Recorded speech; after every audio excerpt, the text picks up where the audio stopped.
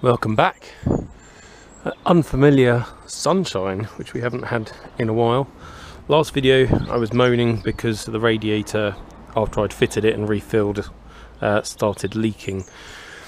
Over here we have a triple core Rover SD1 radiator that was actually earmarked for my twin plenum Vitesse it's got the same side tanks as a standard radiator and all the correct fittings for a manual V8 but you'll notice the core on this one is quite narrow. It's just a twin core. So between the side tanks there are just two galleries in the cross section. One front one back. This thing has three. So I don't know whether you'll be able to see that you can actually see, or I can, I don't know whether you can, three little ports in there. So you've got a third as much again coolant circulating. So theoretically it will have a lot more heat capacity, shouldn't get hot, should get cooler, happy engine. So first job, pull the radiator out, fit that one. Button that all down start filling up with coolant. Then last time I was fanning around making a new brake line because the one that goes across the bulkhead from the brake proportioning valve to this caliper had failed. So get that in there. I still haven't got the correct fuel union to connect this to there. Um, well I can connect that bit but what I can't do is join this piece of plastic pipe to that piece of plastic pipe. So it'll work as a jury rig temporary thing but um, long term I'll need a better connector down there. Anyway I'm going to get on pull that radiator refit the new one. A new and irritating problem has just manifested itself. This radiator is a little bit chunkier and doesn't want to sit back far enough to sit in the mounts because this aftermarket oil cooler is in the way what I'm going to do unbolt the oil cooler from the bracket unbolt the bracket from the rad support turn it around the other way and that should move it all forward and then put it all back together again. Uh, and then we should be looking close. New triple core radiator fitted. Oil cooler has been switched around so it now sits in nicely all buttoned down. Now I'm just going to continue buttoning down cooling stuff wiring and looking to try and get it to fire up. Radiator in, coolant in, uh, most of the coolant lines done up. I've put all the earths on with copper slip and special bolts which have like a um, helical groove cut in them so that they bite in so they're good for earths. Need to do up that hose over there but I was going to leave it and burp it a bit more to get the coolant out. I've been trying to address some of the wiring issues and there are quite a few. The car had a race style cutoff switch which was mounted up here and in order to install it they had messed around with the loom at the battery end and then made up a pair of T-leads from the alternator and starter up to this as well. So all a bit of a mess for the moment, just to get this thing started, I'm going to jury rig it, but oh, that's really annoying. Uh, one of the issues I have is that on the Rover SD1, the main power from the battery into the car body and loom is through that there. It should be about this long and it should go right the way through the battery terminal. And this does two jobs. It's actually attaching the loom to the battery terminal but also acts as the clamp bolt. And the problem is people wang them up really tight. They stretch them and eventually they snap them which is what's happened here.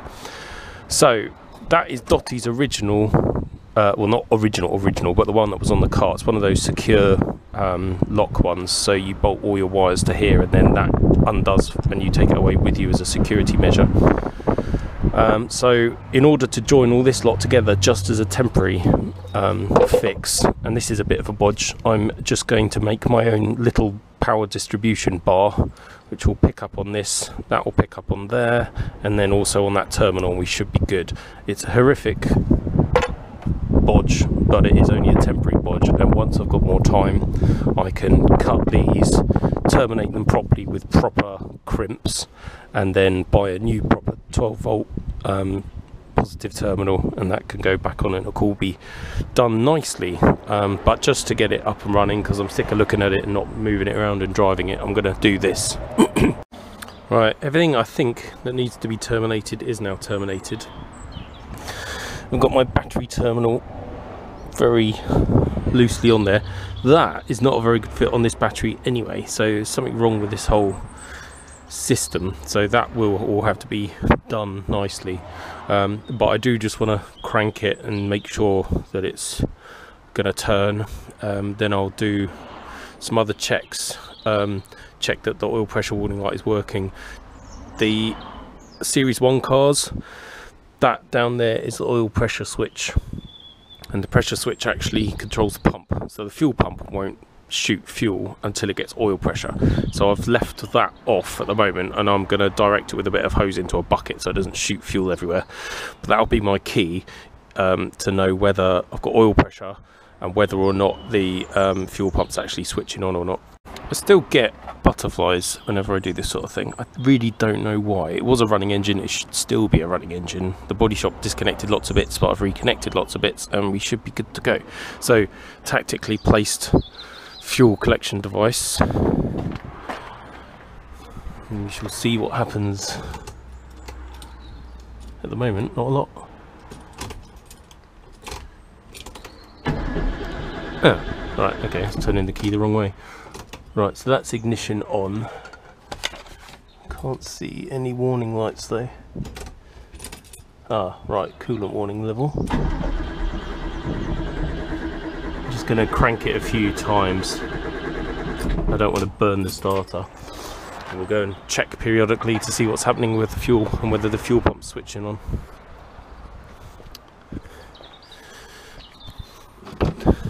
Doesn't smell particularly fuely. No, it's dry at the moment. So either it's not got sufficient oil pressure to switch the pump on or that circuit's not working. I can't remember how I Oh yeah, it was running off a jerry can, wasn't it? So I never actually checked the pump wiring. So it could be that switch is duff. It could be just haven't got oil pressure yet, or it could be that the pump's not wired up right. But um, we shall work through this and see what happens.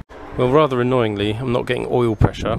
I don't think because the pump isn't switching on and um, the gauge isn't moving.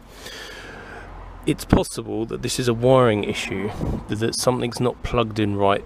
Um, I'm going to go and get another battery and jump the pump and check that the pump is capable of working. If it is, then it's the signal from the pump, in which case it's either switch or it genuinely isn't getting pressure. So um, I'm going to fiddle around for a little bit while. I've pulled out the wiring diagram just to remind myself. That is the oil pressure switch, uh, and that's the fuel pump and WP is white purple so theoretically if the pump is earthed in the back all I need to do is give power to the white purple wire with my power probe off the battery and then hopefully I should hear or see the pump work. Um, one thing that has occurred to me is that this has that um, Sparkrite uh, car alarm thing. Whether that's an immobilizer as well, I don't know. But I've never really looked into it and I've never really bottomed it out. So it might be that that is interrupting either the spark or the fuel when it works. Um, so that's another possibility for the fuel pump not coming on. Uh, I still need to work out whether that's a false gauge that I'm getting saying no oil pressure or whether um, that's real. But anyway, we shall get there in the end, I'm sure.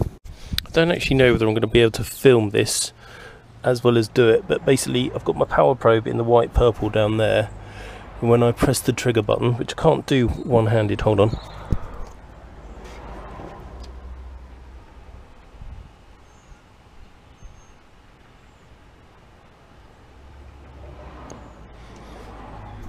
basically I can hear the pump operating.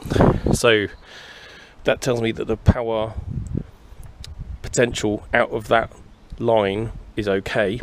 I now just need to check that it's um, well I need to work out whether it's not running the pump because the engine hasn't got oil pressure and the switch hasn't closed or whether it's because of a power to that system not working. So um, little bit more to do. Either way I'm going to keep purging the fuel into that bottle to get rid of any dregs that are in the line. Well this is annoying. Despite having run that pump for quite a long time and I can hear it operating I'm not getting anything out of this line which is weird because those pumps should kick out quite a lot. So I'm starting to wonder if that pump is wired in right. So I'm going to crack the union there and see what happens. Right I've just cracked that and pumped it again and there's definitely fuel coming out of there it's just not getting to the engine bay yet so I'm going to put the um, fuel tank improvised fuel tank under the car and see if it's a gravity thing. I don't think it should be. If that pump's pumping out there, it should be pumping straight through here. Um, we, I can only assume it's just taking a while, but we'll persevere. Goddamn cars.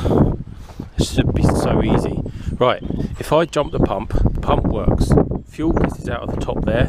If I undo that there nozzle, I can blow through it. There's quite a lot of resistance, but I can blow through it and the fuel comes out this end. I took that off in case I had accidentally crushed the pipe and to check I can blow through that, which I can. So why does fuel not get pumped from there to here in what is an uncrushed, undamaged piece of plastic pipe? I'm very, very confused, but basically no fuel is coming out yet, so I'm going to do some more head scratching. This genuinely makes no sense. That is the fuel line pulled off the underside of the car. You can blow through it fine. I think that might be a crap pump and it's just too weedy for the job. Made a discovery. I'm now jumping direct off the pump so I can watch the, line at the same time. Pump running, I can hear it. Nothing coming out now whatsoever. So, um, basically, pump's going to have to come out, which is a complete ask because now the tank's in the car. You can do it, but it's a bit of a bitch, and uh, we'll see what's going on. But it's rather irritating, to say the least. That'd be why it's not working then. The elbow had fractured.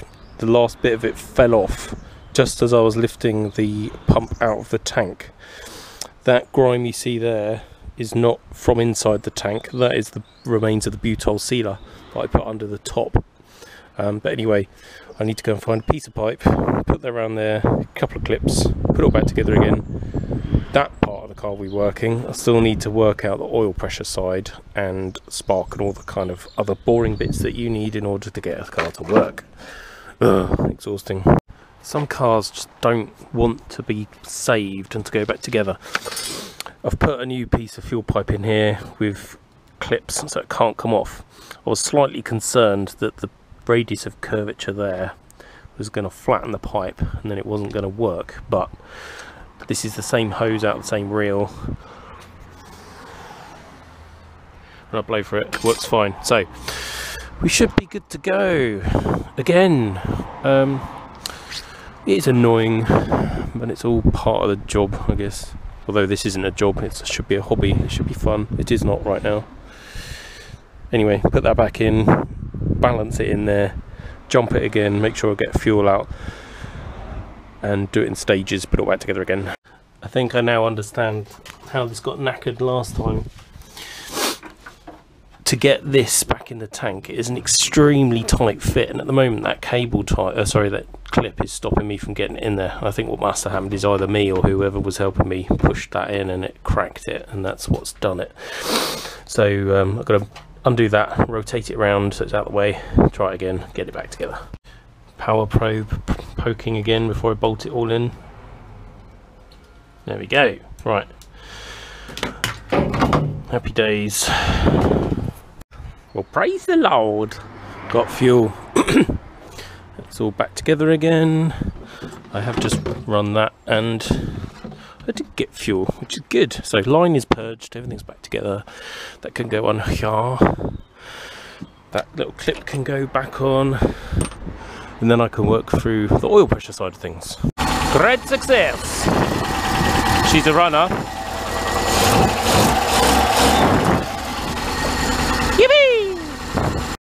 mild excitement. I pulled that cam cover off and wanted to double check I was actually getting oil coming out through the rockers.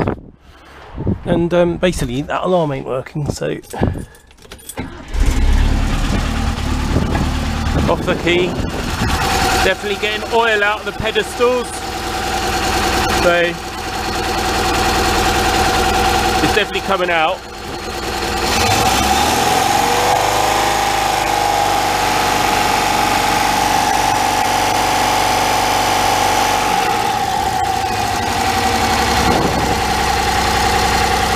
Yeah. So it's actually, it's definitely getting oil pressure. I think the only reason it's not showing up is because the gauge must be knackered or the um, actual sender itself. I put my finger on the sender under the car. Hold on, I'll just turn it off. If I put my finger on the sender, we? Up here, this one. The whole thing is loose, the little terminal on it. So I think we've just got a duff sender uh, or switch or whatever it is. I can't remember on these whether, the that's a combined.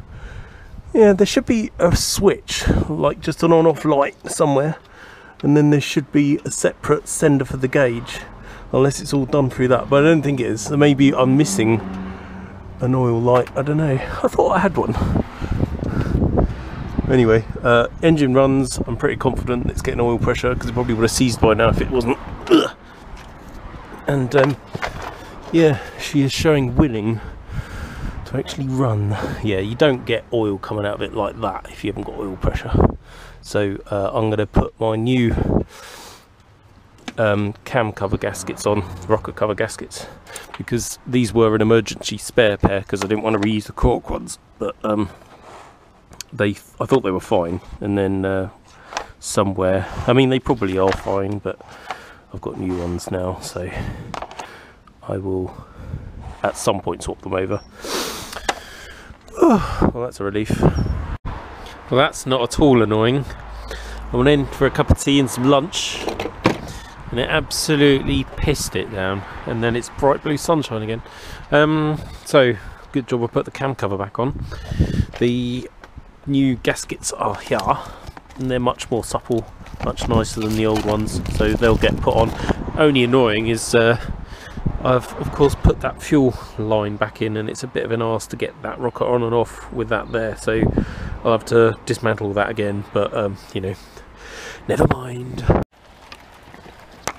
So weather is really getting on my tits now. Um, I've got the cam cover gaskets changed I didn't have to take them all the way off. I could actually thread the new gasket right the way around and put them on. Putting the air boxes in and I'm realising I'm missing a couple of breather pipes. Shouldn't matter, it'll just probably be getting a bit more air than it should. but it was idling fine previously so it, it, it'll be enough for shunting round. Don't mind working in the odd shower, but this is just stupid. So I'm gonna down tools and have another cup of tea I think because this is just silly. I'm going to need to move that Well, that's actually mildly successful. Running, moving car on the ground. It looks really high, but I'm hoping that when it's driven forwards and backwards a bit and settled, that the rider height will come down because it looks like it's on stilts at the moment, which is a bit odd. Series 1 cars, I don't know, they do sometimes look a bit gappy, but not quite like that, so uh, something else to play with.